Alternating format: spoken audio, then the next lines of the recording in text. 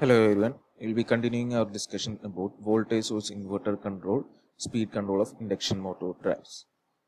So in the last lecture, we have learned out about the basic principles of voltage source inverter, the basic circuitry used and the different methods. Now we'll be discussing more about the braking and multi-quadrant operation of the VSI drives and also we'll be discussing about the closed loop speed control.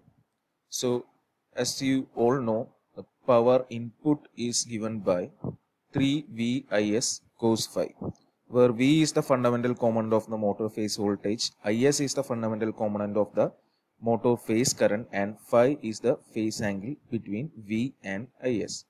So for basically for motoring operation, the phi will be less than 90 degree and will be positive, and the power flows from the inverter to the machine. That is, it acts as a motor.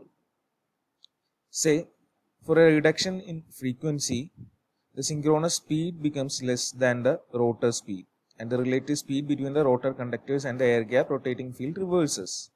That is, this reverse rotor induced EMF, this reverses a rotor induced EMF, versus rotor induced EMF and the rotor current and component of the stator current which balances the rotor ampere turns also reverses.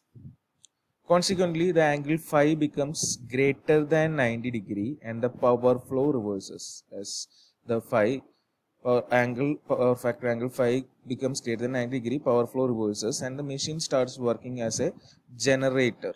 That is it feeds power into the inverter which in turn feeds power into the DC link by reversing the DC link current ID okay. Then by regenerate then regenerative braking is obtained when the, this power is usefully fed back to the supply mains and dynamic braking is obtained when it is wasted in a resistance so അതാണ് ഇതിന്റെ basic working principle power three V I V I S cos five ആണ് five less than ninety ആകുമ്പോൾ motoring operation ആയിരിക്കും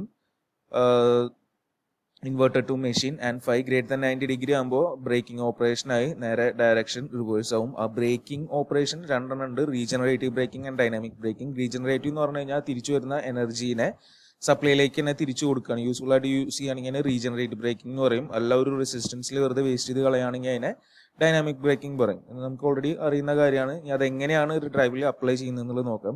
So first we come to the dynamic braking case so this is the circuit diagram or block diagram for dynamic braking setup so ഇത് മുന്നേ കാണിച്ചിട്ടുള്ള diagram തന്നെയാണ്. അതിൽ കുറച്ച് changes വരുത്തിയിട്ടുണ്ട്. Additional elements are added like an SW switch and as that is SW switch here.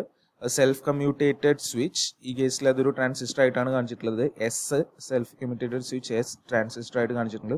With braking resistance R or R B you can call it as R or RB connected across the DC link are added to the drive circuit. So ഇതാണ് ഇവിടുത്തെ additional. സംഭവങ്ങൾ വരുന്നത് ഈ എന്ന് പറയുന്ന switch operate ചെയ്യുന്നത് open ചെയ്യുന്നത് എപ്പോഴാണെന്ന് വെച്ച് കഴിഞ്ഞാൽ ബ്രേക്കിംഗ്. ബ്രേക്കിംഗ് വന്നു കഴിഞ്ഞാൽ ബ്രേക്കിംഗ് എന്നുള്ള കാര്യം ഡിസൈഡ് ചെയ്ത് കഴിഞ്ഞാൽ ഇതിനെ ഓപ്പറേറ്റ് ചെയ്യും. അതായത് സപ്ലൈ എന്നുള്ള കണക്ഷൻ ഒഴിവാക്കും. ഇവിടെ നമുക്കറിയാം ഡൈനാമിക് ബ്രേക്കിംഗ് ആണ് റെസിസ്റ്റൻസിൽ വേസ്റ്റ് ചെയ്യാണ് വേണ്ടത്. സോ ഇത് ജസ്റ്റ് ഓൺ ആക്കിയ ഉടനെ എന്താ സംഭവിക്കാന്ന് വെച്ച് കഴിഞ്ഞാൽ ഇവിടുന്നുള്ള എനർജി ഈ കപ്പാസിറ്റിയിൽ കപ്പാസിറ്റിക്ക് ചാർജ് ചെയ്യാൻ തുടങ്ങും. കപ്പാസിറ്റി സ്റ്റോർ സ്റ്റോർ ചെയ്യാൻ തുടങ്ങും. ഓട്ടോമാറ്റിക്കലി കപ്പാസിറ്റിന്റെ വോൾട്ടേജ് കൂടും. സോ അതൊരു സെറ്റ് വാല്യൂവിനെ ഇൻക്രീസ് ചെയ്യുകയാണെങ്കിൽ ഈ സ്വിച്ച് എസ് ഇതുവരെ എസ് ഓപ്പൺ ആയിട്ടാണ് ഉണ്ടാവുക. എസ് ക്ലോസ്ഡ് ആവും സോ എസിന്റെ മിനിമം വോൾട്ടേജ് എത്തുമ്പോൾ വോൾട്ടേജ് എത്തുമ്പോൾ ഇത് ട്രിഗർ ആവും അല്ലെങ്കിൽ ഇത് ക്ലോസ് ആവും. ഇത് ക്ലോസ് ആവുമ്പോൾ ഓട്ടോമാറ്റിക്കലി എന്ത് സംഭവിക്കും?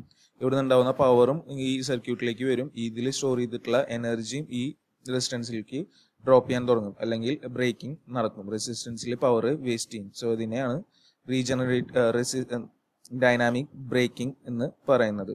So automatically the generated power in, uh, power and a part of energy stored in the capacitor flows into the resistance and the DC link voltage reduces. Thus by closing and opening switch S based on the value of DC link voltage, the generated energy is dissipated in the resistance giving dynamic braking.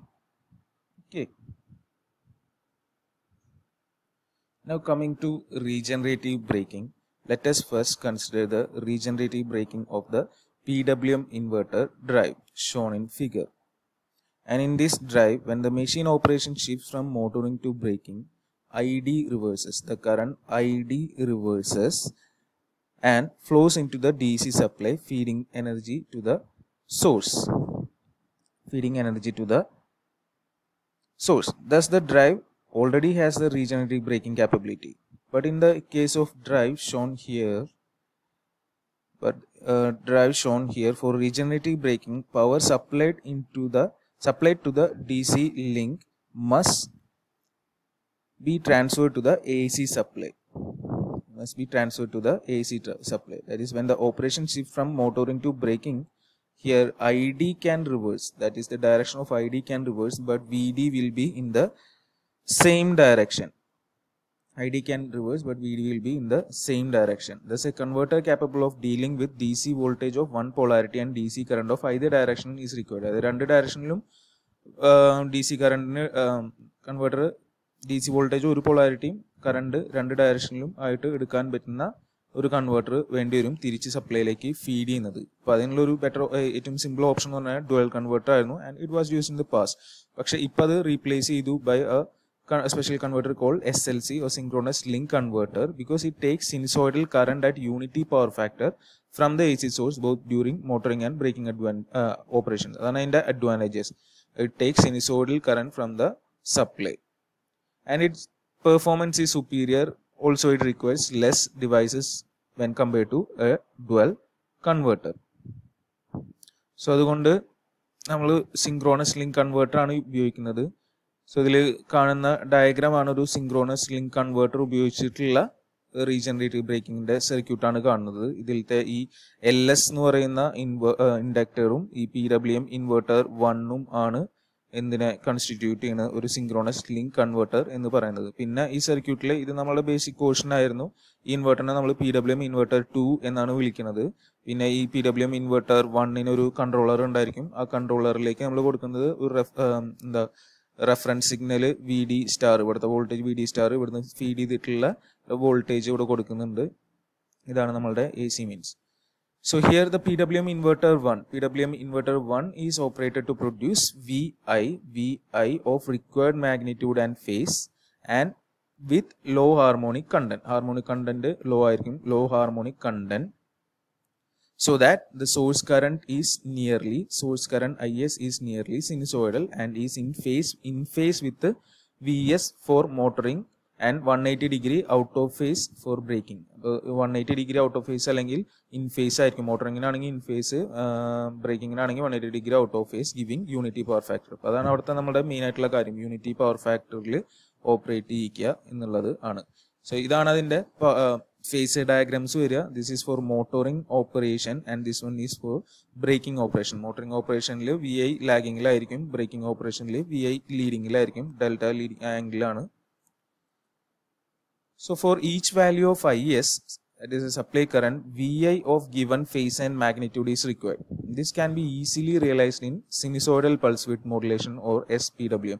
നമുക്ക് V I അതായത് മാഗ്നിറ്റ്യൂഡും ഫേസും കിട്ടാം. S P W M ഉപയോഗിച്ചാൽ മതി. In S P W M the magnitude and phase of V I depends on the magnitude and phase of modulation signal so modulation signal adjust ചെയ്തിട്ട് നമുക്ക് മാഗ്നിറ്റ്യൂഡും ഫേസും കൺട്രോൾ ചെയ്യാം. Since V I is produced by P W M inverter it does not contain low frequency harmonics നമുക്കറിയാം P W M inverter low frequency harmonics ഉണ്ടാവില്ല. ഇനി അവിടെ ആകെ ഉള്ളത് ഹൈ ഫ്രീക്വൻസി ഹാർമോണിക്സ് ആണ്. ഇതിനെ എൽ എസ് ഫിൽട്ടർ ഔട്ട് ചെയ്യും. And it gives nearly sinusoidal source current. And the phasor diagram already shown was similar to that of a synchronous machine. That is uh, therefore the name synchronous link converter.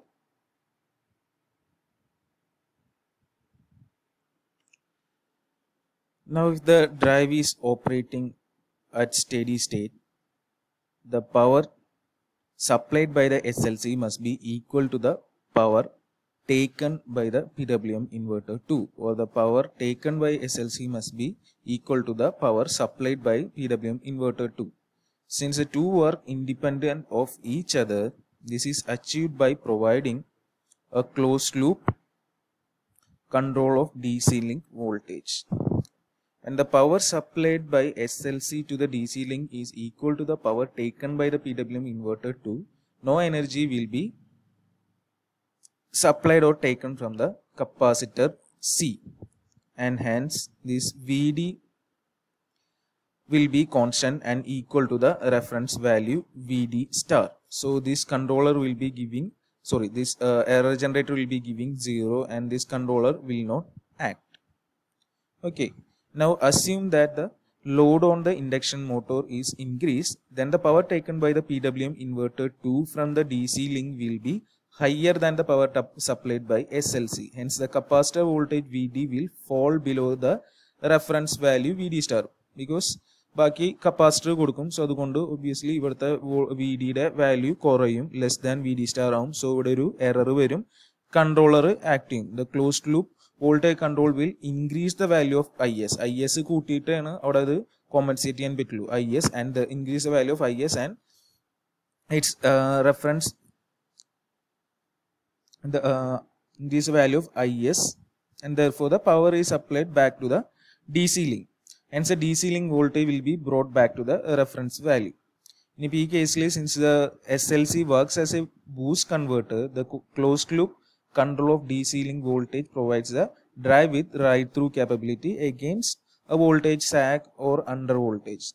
When AC source, source voltage falls, the closed loop voltage control maintains the DC link voltage constantly by increasing IS. അപ്പോൾ I S ആണ് അവിടെ adjust ചെയ്യുന്നത് and thus the motoring continues to provide constant voltage and four produces the same maximum power and torque